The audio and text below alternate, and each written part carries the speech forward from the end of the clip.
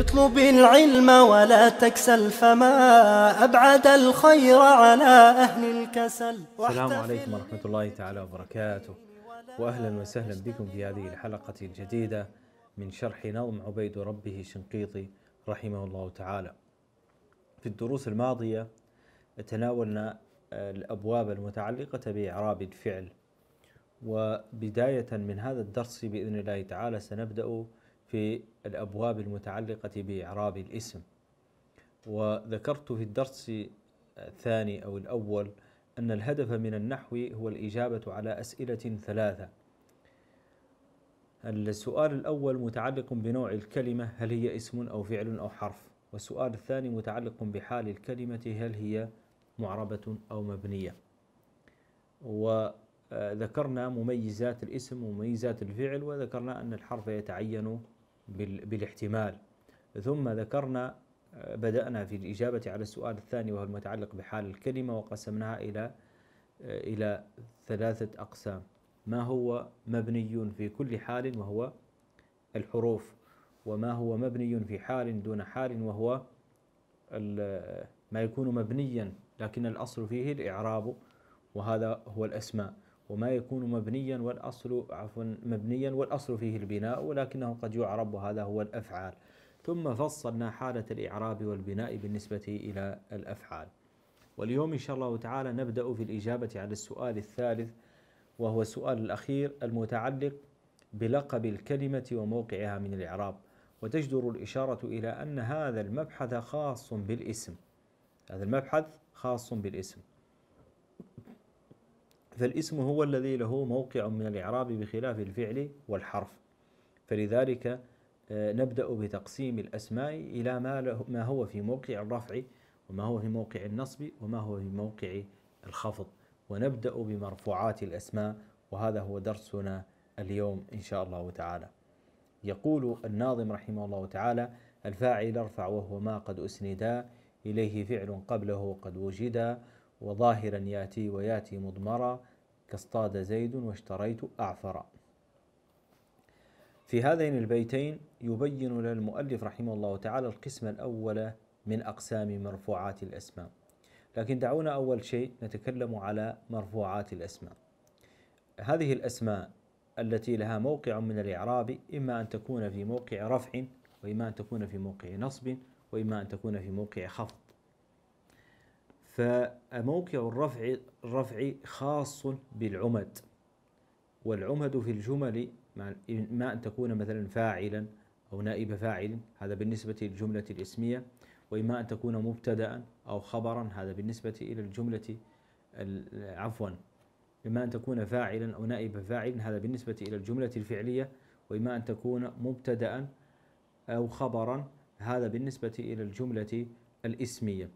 هناك جملة مركبة من الإسمية والفعلية وهي كان وأخواتها وإن وأخواتها. فهي هذه في الأصل جملة إسمية لكن إذا دخلت عليها كان تصبح آه، آه، تغير فيها كان. ففيها عمدتان في الأصل المبتدأ والخبر فيبقى أحدهما على الرفع. كذلك أيضا إذا دخلت إن أو إحدى أخواتها على على المبتدأ والخبر ربما تغير فيها لكن يبقى بعض الرفع في بعض العمد. فلذلك مرفوعات الأسماء الفاعل ونائب الفاعل والمبتدأ والخبر واسم كان وخبر إن وتابع المرفوع. والأول من هذه الأقسام هو الفاعل لأن هذا الكتاب مؤلف على طريقة الكوفيين والكوفيون يقدمون الجملة الفعلية على الجملة الإسمية. فلذلك قال الفاعل ارفع. وترجم له بقوله المرفوعات من الأسماء باب الفاعل. الفاعل في اللغة هو من قام بالفعل.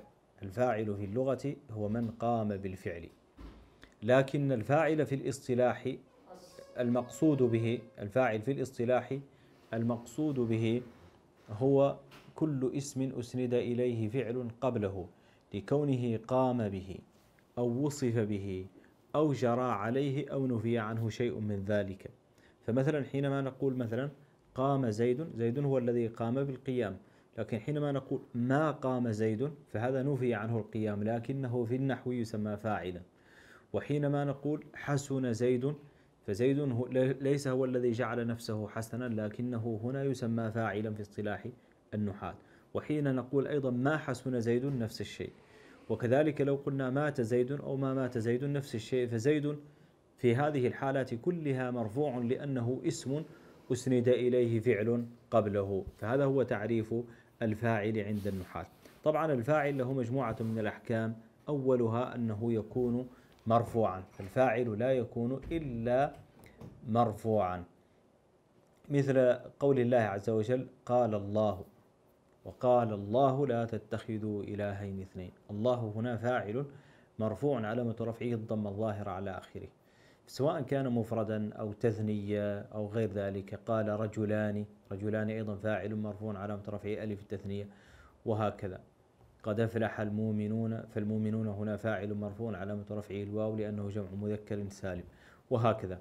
فإذا الفاعل حكمه الأول أنه مرفوع ذلك قال الفاعل ارفع. ثم عرفه وقال وهو ما قد أسند إليه فعل قبله قد وجد معناه هو الاسم الذي أسند إليه فعل وجد قبله. كذلك أيضا من أحكام الفاعل أنه تارة يأتي اسما ظاهرا وتارة يأتي ضميرا. فيأتي اسما ظاهرا مثل ما رأينا. مثلا قال الله فهذا اسم ظاهر. قال رجلان اسم ظاهر. قد أفلح المؤمنون. المؤمنون هذه في هذه الحالات كلها الفاعل اسم ظاهر. قد يكون آه، ضميرا بارزا مثل قولك قمت أو فهمت أو تكلمت فالتاء هنا فاعل. ضمير متصل في محل رفع فاعل. أو قمت أو فهمت أو قمت أو فهمت. فهذا في التاء في هذه الحالات الثلاثة ضمير متصل في محل رفع فاعل. فإذا هو قد يكون اسما ظاهرا وقد يكون ضميرا. لكن أيضا كما أنه يكون ضميرا بارزا يكون ضميرا مستترا. مثل أقول لك افهم أو افهم افهم أو اكتب أو ادرس أو ذاكر. فهذا فعل الأمر الموجه إلى المفرد. دائما فاعله ضمير مستتر وجوبا تقديره أنت. تمام؟ وهكذا. لذلك قال وظاهرا ياتي وياتي مضمرا. كذلك أيضا من أحكام الفاعل أن الفاعل إذا كان مؤنثا فتتصل تاء تأنيثه أو علامة تأنيثه بالفعل. فنقول قامت هند. تاء التأنيث هنا تتصل بالفعل إذا كان فاعله مؤنثا. وهذا أيضا من الأحكام المتعلقة بالفاعل.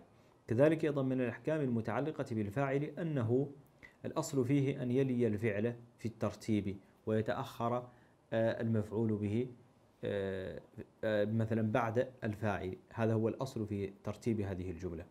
ختم المؤلف رحمه الله تعالى بمثالين. قال كاصطاد زيد واشتريت أعفر فقوله اصطاد زيد هذا مثال للجملة التي الجملة الفعلية المركبة من فعل وفاعل. يعني من فعل لازم وفاعل ظاهر.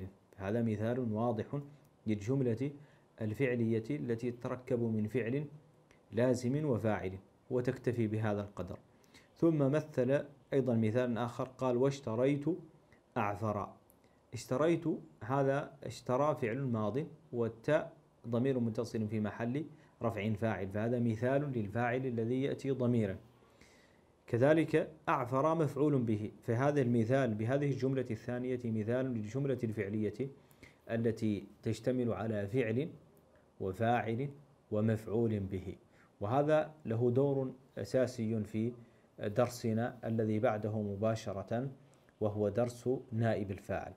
خلاصة هذا الدرس اليوم أن أننا بدأنا في الكلام على إعراب الاسم وقسمنا الأسماء إلى ثلاث مجموعات. المجموعة الأولى هي مرفوعات الأسماء وهذه مرفوعات الأسماء سبعة أولها الفاعل.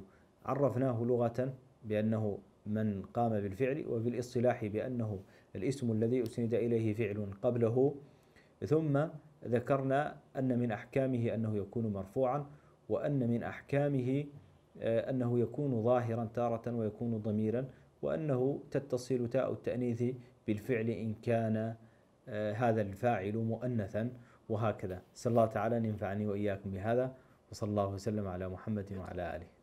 ولا تكسل فما أبعد الخير على أهل الكسل.